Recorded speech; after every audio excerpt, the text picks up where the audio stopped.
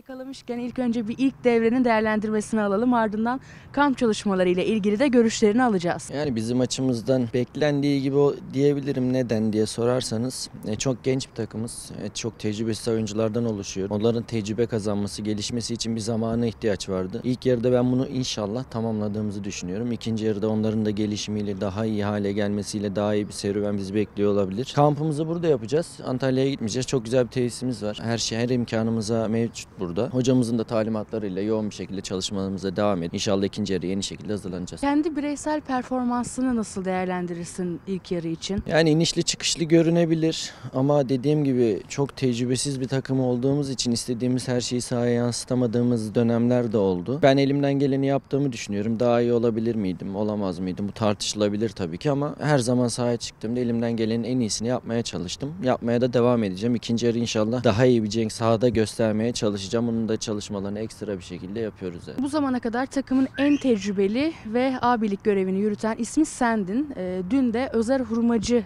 dahil oldu. Ee, tanıştınız, bir araya geldiniz, takımla birlikte oldunuz. Ee, Özer'in gelişiyle ilgili, takıma katılışıyla ilgili neler söylersin? Tabii Özer abinin gelmesi bizim için hem saha içi hem saha dışı olarak çok iyi oldu. Onun tecrübeleri, onun bu zamana kadar yapmış olduğu şeyler ortada. E bu çocuklara bir tık daha fazla konsantrasyon sergileme fırsatı doğuracağını düşünüyorum. E saha içindeki kalitesini zaten bizim konuşmamıza bile gerek yok. Evet bir ara verdi ama onun kalitesi, onun oyun aklı bize çok fayda sağlayacak. Onun burada olması bizim için çok büyük bir artı olduğunu düşünüyorum. İnşallah onun da katkısı olur. Hayırlısı olsun. Takım içerisindeki ilişkiler nasıl oyuncularla? Gayet iyiyiz. Yani küçüğünden büyüğüne herkes her şekilde eğlenebiliyoruz. Gerektiğinde dışarı çıkıyoruz, gerektiğinde burada duruyoruz. Saha içinde bazen kızıyoruz, bazen seviyoruz. Bunlar olması gereken şeyler. Biz gençken nasıl desem dövüyorlardı.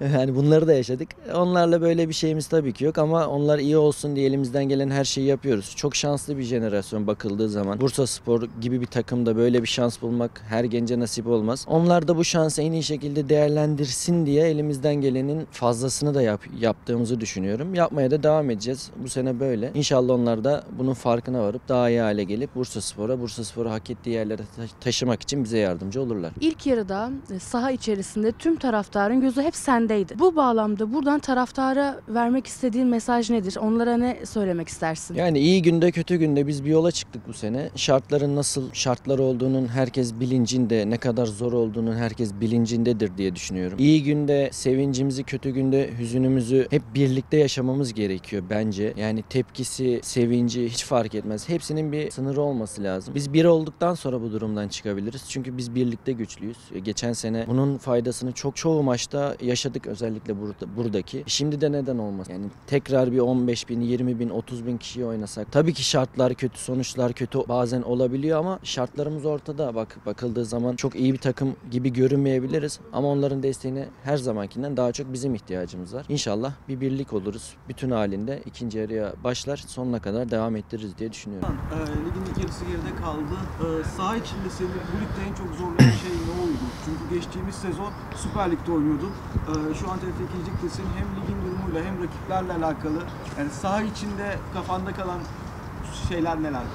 Ya benim kendi bireysel olarak bakıldığı zaman stat atmosferi ve saha zeminleri beni çok zorladı. Yani alışık olmadığım zeminler, alışık olmadığım atmosferler, yolculuklar yaşadığım için biraz konsantrasyon kaybı ya da çok fazla kendimi verememe zamanlarım oldu ama bunlara alışıyoruz. Bizim için de tecrübe. Yani şöyle bir şey var. Biz ne kadar tecrübeliyiz de desek bu tarz bir genç bir takımla daha önce abilik görevini üstlendiğimiz bir görevimiz olmadı. Bu bizim için de aslında bir tecrübesizlik. Ve biz bu 6 ayda bunu da aştığımızı düşünüyorum. İnşallah ikinci yarıda hepsini bir kenara bırakıp sadece sahaya en iyi şekilde Bursa Spor için neyi daha iyi yapabiliriz düşüncesiyle elimizden geleni yapacağız. Son soruyu alalım arkadaşlar.